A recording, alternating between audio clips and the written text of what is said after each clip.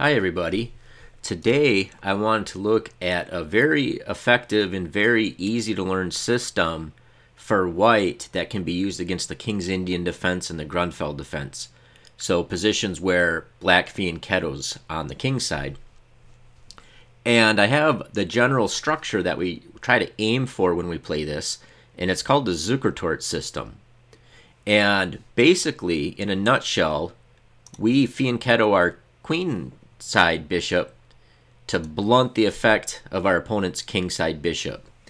And now, one really good thing about this opening, especially at club level, is if black kind of plays robotically, like King's Indian defense players tend to do sometimes, they can get in trouble really quick, and we can just win a pawn out of the opening. And we'll see how often that happens. It's very frequent that we will just win a pawn out of the opening.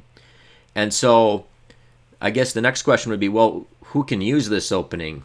And um, basically, in a nutshell, anybody who opens with d4 and can play knight to f3 on move 2 can use this setup. So, Colle system players, uh, London system players who play knight to f3 before they play the bishop to g4, even players who traditionally play d4 and go into a queen's gambit setup, if they play knight to f3, which some people do before they play c4, if they're trying to stop like you know immediate stuff with with e5 and whatnot, then this would be something that they could use as kind of a low maintenance, effective setup against the the King's Indian and the Grunfeld.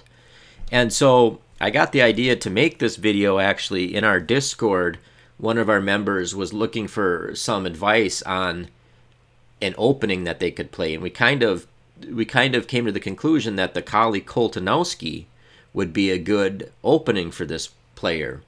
And so that's not what we'll be covering in this video, but the Colle Koltanowski is not good against the King's Indian. It's not good against the Fianchetto, um, a Kingside Fianchetto. So this would be something very good that this player could use that would fit together well with the Colle Koltanowski and provide a weapon that could be used against these kingside fianchettos. And um, also, I know a lot of players who watch this uh, channel. They um, tend to play the London system, and a lot of people really like Alex Banzea's London system, and I do as well. I think it's the best course on Chessable, and I'm not paid to say that and uh, that course uses the knight to f3 move order.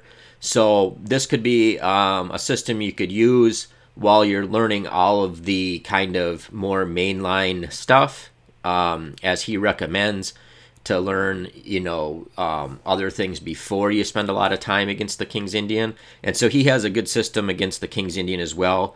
Um, this one to me seems a little bit easier if you're gonna try to learn it really quickly.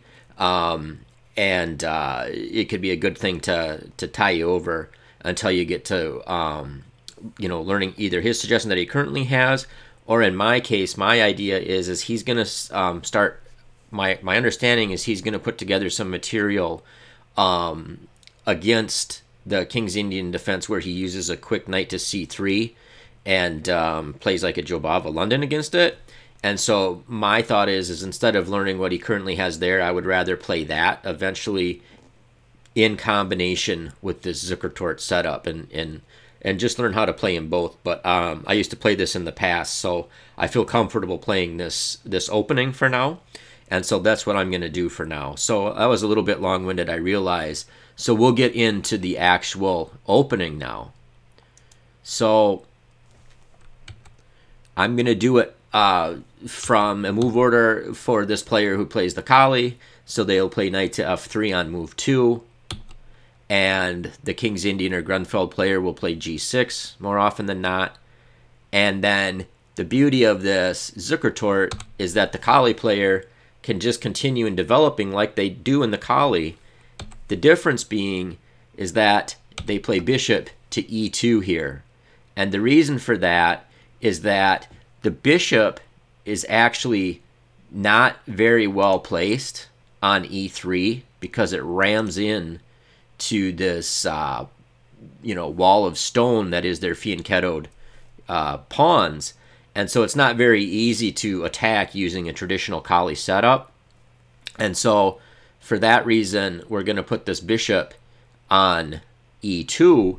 And another reason, not to get ahead of ourselves, but another reason is that the King's Indian players will usually play d6 followed by e5 at some point, and it's best not to have our bishop on d3 because you can imagine a situation if they are able to play e4, then they would have a fork on both the bishop and the knight. So we'll continue along here. And normally, black and white will both castle. So, so far, uh, we've made all the same moves as in a Colle system. And the King's Indian player will play d6 and the Grunfeld player will play d5. And we'll come back at the very end and we'll look at how to handle d5. But for now, let's focus on King's Indian setups. And so the key move in this Zukertort setup is here is where we go and we play uh, b3. And we're going to develop our bishop to b2. And basically we are trying to counteract this dark squared bishop of black on g7. This is their beloved bishop in the King's Indian. And so what we're going to do is we're going to put black on some unfamiliar ground here. And um, we'll see how this tends to work out very well. So what I wanted to do basically is we'll look at, we're going to go over the most common moves that uh, black will play. And so your King's Indian player is generally going to play knight b to d7 here and they're doing that to support an e5 pawn break. And now we continue along setting up our Zukertort, and we want to do this b3 and bishop to b2 fairly quickly because if you notice, this bishop now x-rays the e5 square and provides additional support to e5. And so I what I want to do is look at the three most common moves that black will play in this position because this is the most common position that we will get.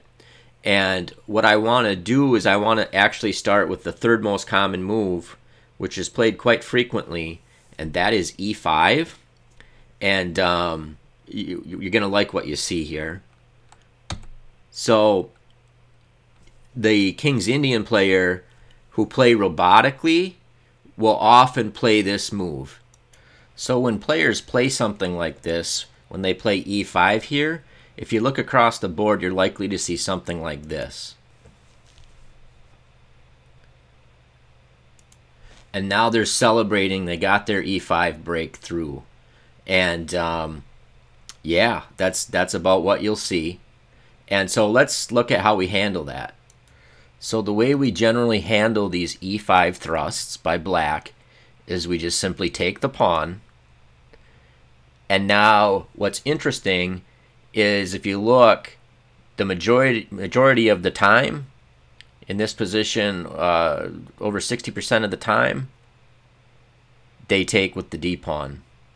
And now we have just basically won a pawn for nothing. So if you want to just uh, pause it and look at it, see how you can win a pawn here.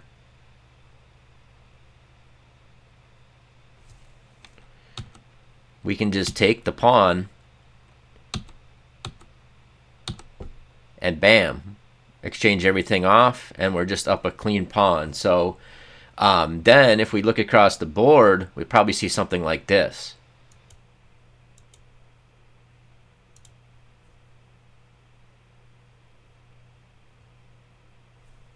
And I've actually seen this look before playing this Zukertort.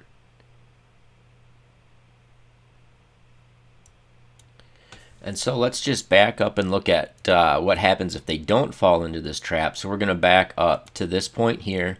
Remember when they play e5, we take on e5. We saw that d takes e5 doesn't work. And this will actually come up in other variations too. So I guarantee you you'll get this in a lot of games. But if you get somebody who knows what they're doing or somebody who figures this out and doesn't just play like a robot um, over the board, They'll probably play knight to g4, and you can look at less than 20% of the time at club level here um, on the Lichess database this is played. But let's just go down this line a little bit just so we know what to do if this happens. And remember in our setup um, that we showed on the on the first screen, generally we want to play c4 and gain space. So that's what we do here. We just say, well, we're, not going to hold on to that pawn, and that's fine. We're just going to um, gain space and clamp down on the center. And so what'll happen is black will take that pawn with their knight, with the g knight, because they wouldn't want to just leave it hanging out there in space. We just go ahead and take back, and then this would be the most common reply, as you can see, that like 90% of the time practically. And then we can decide what we want to do here. So there's different ideas. Um, we can play aggressively. We could play our queen to d2 and then have ideas of playing knight to c3 and then actually even f4 and e4 and, and playing very aggressively against these King's Indian players. Or if we wanted to, um, we could play a little bit, um, you know, more traditionally. We could just put our queen on um, c2, knight to c3, move our rooks to the c1 and d1 squares. Obviously, if we were going with the uh, f4, e4 kind of fire on the board plan, we would keep that uh, f1 rook on f1 and we would bring that a rook over to e1 and try to get them pawns rolling down the board. So, um, but yeah, like like I said, more often than not, you're actually going to see in this position here, you're going to see this move here. And so that's what happens on move 7 after knight, knight b to d7 um, on move 6 if they play e5 right away. So let's go back and look at the other possibilities other than them playing an immediate e5. So we zoom back to that position. They just played knight b to d7. If we look at the second most common move here is actually rook to e8. And this will be another common thing. I won't play the robot video again, but this would be another thing is that the King's Indian defense player goes for this setup and they put their rook on e8 and their knight their knight on b to d7 to support this e5 break. And so we'll probably see that coming, right? So we just continue. Remember, c4 is what we like to play, and then we will be just one move away from that structure we had on that front screen. All we got to do is get our knight on c3, you know, if it works out that way, and we've attained that Zukertort setup. So we place c4, and now what's fascinating is look at this position here. Over about, uh, right around two-thirds of the time, once again, they play e5. And if you can look, anything else they play, we'll just play knight to c3. We got a good solid setup, and we play some chess. But at the club level, we're going to see this e5. And of course, what we do is we just we do d takes e, just like last time. And now, amazingly, once again, 70% of the time, they take with the e with the d pawn. So they'll do d takes e. And uh, I think you probably know what to do here. We play knight takes e5. And now, once again, 70% of the time, you can see over here, the most common move by, by far is knight takes e5. Bam. It's an easy game, I guess. Um, so let's look uh, to see what else could happen here. So instead of taking with the knight, the only move that we got to be somewhat careful of or kind of pay attention to would be knight to e4. And if we go back and look, that's only about 15, 16% of the time. I don't want to get too hung up on statistics, but it's good to point this out because it's just, this thing is so effective against club players. But if they if they play knight to e4, what we have to realize is that it unmasks an attack on our knight. So this bishop now is attacking our knight. And so what we need to do is we need to play knight to d3 to to uh, move that knight away from attack and to protect this b2 bishop. And we, we would love it if those things got traded off. So, um, you know, if we get something like this, this is great for us. If they just insist on trying to attack down this long dark squared diagonal, we have this, which is beautiful because here we're just a clean pawn up with a good position. So that is basically what happens if they play rook to e8 on move 6. So right on move 7, sorry, after knight b to d7. So, and um, rook to e8, and like you said, the vast majority of the time, if we uh, play c4, they end up playing e5. If they play something else, we just go into our standard setup.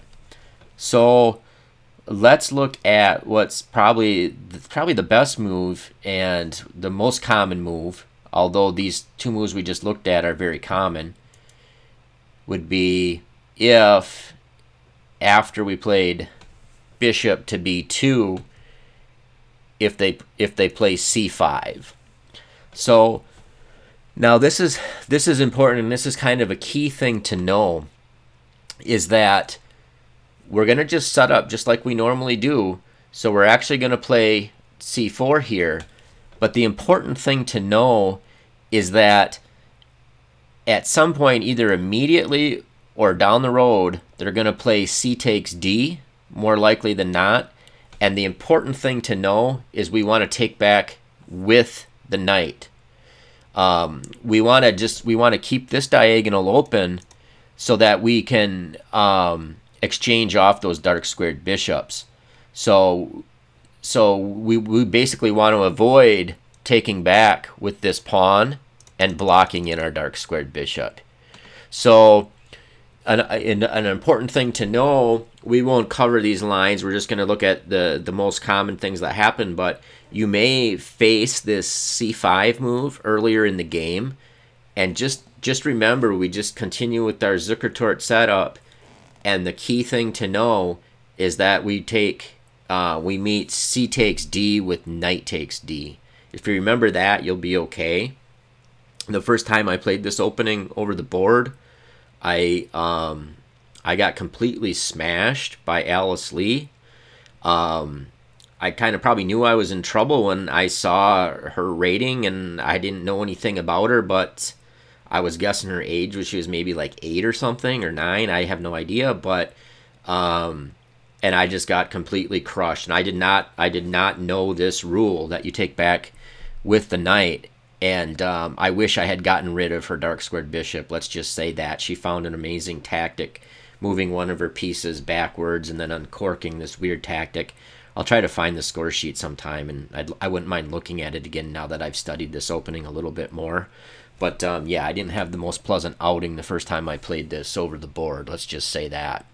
So we play c4, and we just remember we take back with the knight. So in this position here, you can see there's just a hodgepodge of responses from black. I mean, who knows what black will play here since they're likely left to their own resources. But life is good for us. We, we have more space. Black's uh, golden boy bishop here is neutralized by our bishop. So our plan, and we just basically, we can put our, our knight on c3. Um, we can uh, put our, our queen either on d2 or c2, put our rooks here on c1 and d1, and uh, it's just a pretty pretty comfortable position for us to play. And so um, that's like the main. That's what this, is the kind of stuff you'll see most often, and that's the beauty. That's why this Zukertort is so so great and easy. So I think what we should do real quickly is just go back and see what happens if on move 6, uh, if they play knight to c6 instead of knight b to d7. And we'll be happy to see that. Okay, so right there, if they play knight to c6 instead of knight b to d7, like, sorry, like we just looked at, we just continue with our Zukertort setup. And what's amazing is if we look at this again, the most common move, once again, is e5. We take with the e pawn. I'm sorry, we take we take the e pawn with the d pawn. And once again, most common move, 65% of the time, d takes c. So, let's just uh, see if you remember the tactic here.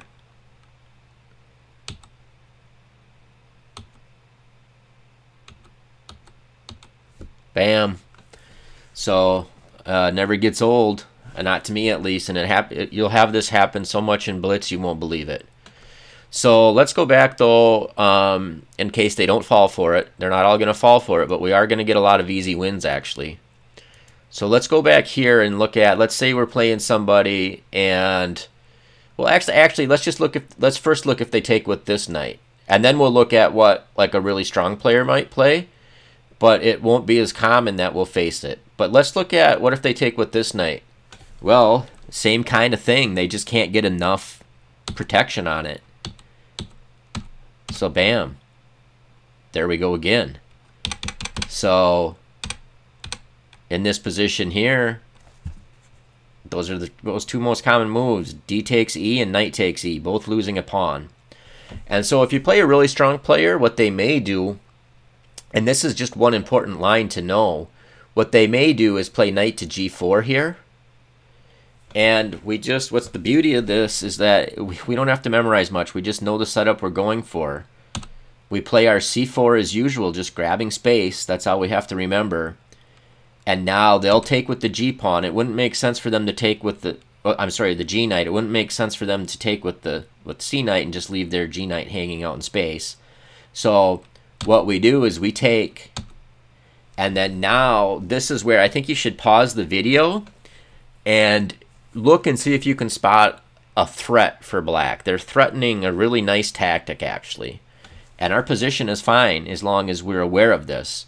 And the cool thing is, is that we're usually the ones that have the tricks and not them. But in this particular line, there is a trick that we need to be aware of. So um, I'll let I'll let you look for it for a second here.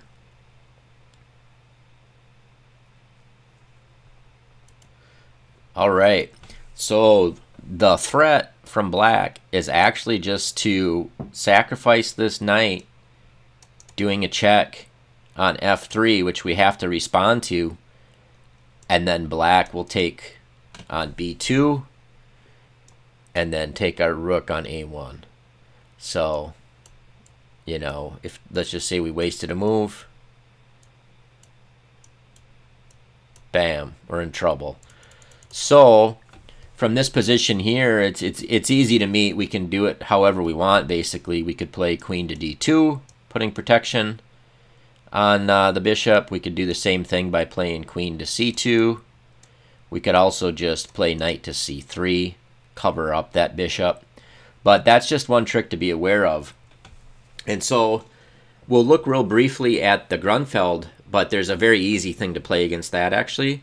But um, I think this is a really, really kind of good um, thing to play for club players against the King's Indian defense. So Let's just look real quickly at the Grunfeld because we have an easy easy answer for that that just kind of once again just takes them out of their standard way of playing. So the Grunfeld for us will come about when we when we get here in this position here instead of playing d6 like the King's Indian defense player will play, the Grunfeld player will play d5. Okay? And we have a beautiful move here, but I think what we should do is we should just kind of look at like a mainline Grunfeld real quick. I'll just flip through it and just kind of show what the idea of the Grunfeld player is.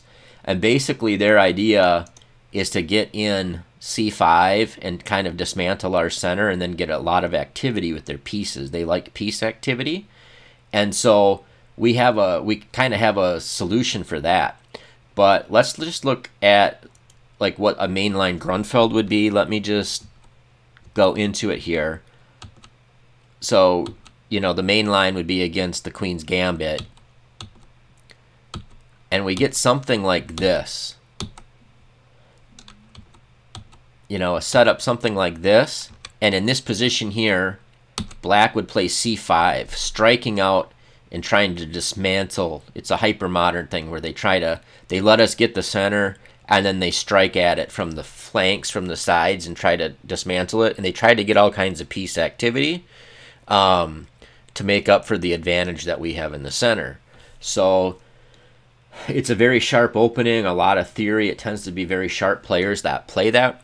And so that's kind of the beauty of this Zukertort is that our answer when we get in this position, we can actually just play b4 here and put this thing to rest, put this c5 break to rest.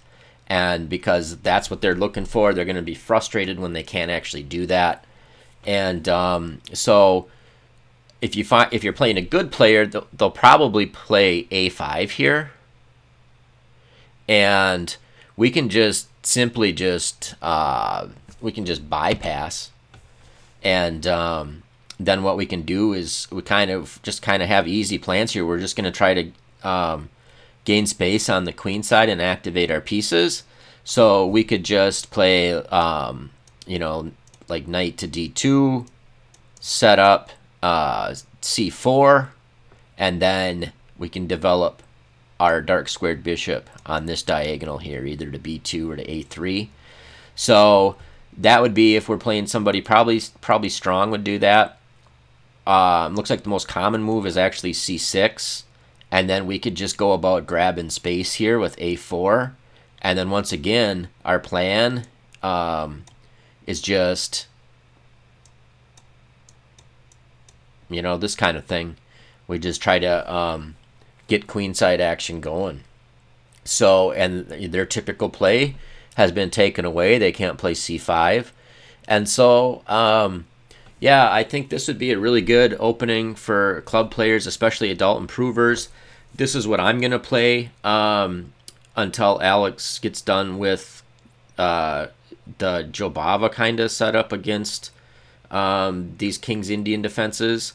And, um, you know, I'm thinking he'll be done, you know, updating his course with that by the time I get to that anyway. I'm taking his recommendation and studying the other stuff, the, the kind of more common and the stuff that's going to pay a lot of dividends to know um, now. And so it'll be quite some time before I get around to this, but I'm just going to play this. This is what I played years ago. I would play this. Um, I've had good results with this thing, so I'm just going to stick with it. And I think it's a perfect pairing for somebody who plays the Colle, somebody who plays the London with the knight to f3 move order. And I mean, even if somebody wanted to play it, that plays the Queen's Gambit decline you know, the queen's gambit, but they play knight to f3 on move two. So I would strongly consider it. You'll be surprised how many players just play like robots. I've actually had really strong players um, fall into that position where they ruin the pawn, where they lose the pawn by playing e5 when they, you know, when it's when it's not working for them. And then the cool thing is, is most of them will get pretty rattled because they kind of realize that they were on autopilot. They in a position that they don't understand. They're down a pawn we still have um, we're still blunting their dark squared bishop. So it's just a beautiful thing, the Zukertort. And uh, so props to Zukertort for coming up with this. And uh, good luck if you uh, decide to play this. Take care.